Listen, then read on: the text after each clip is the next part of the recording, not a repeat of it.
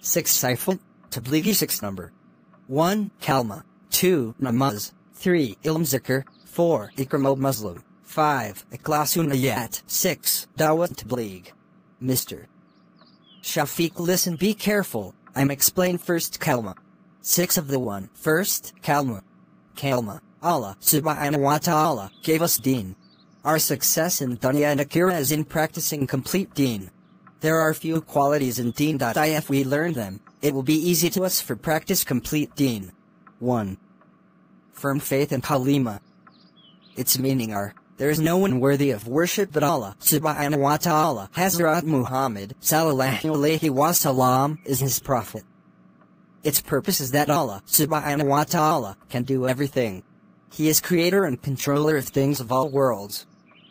Creation cannot do any without help of Allah subhanahu wa ta'ala. Hazrat Muhammad sallallahu alayhi wa sallam is our Nabi. Our complete success of both worlds is in following the sunnah of Rasulullah sallallahu alayhi wa sallam. 1. Kalima is key to Jannah. 2. If 100 years old Kafir says this kalima with sincerity his all sins are forgiven.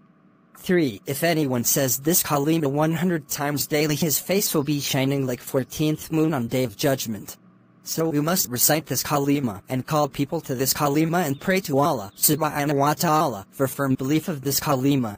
إنا نسألك إيمانا كاملا ويقينا صادقا وقلبا خاشعا ولسانا ذاكرا وتوبة نصوحا وتوبة قبل الموت وراحة عند الموت والعفو عند الحساب ونسألك الجنة ونعيمها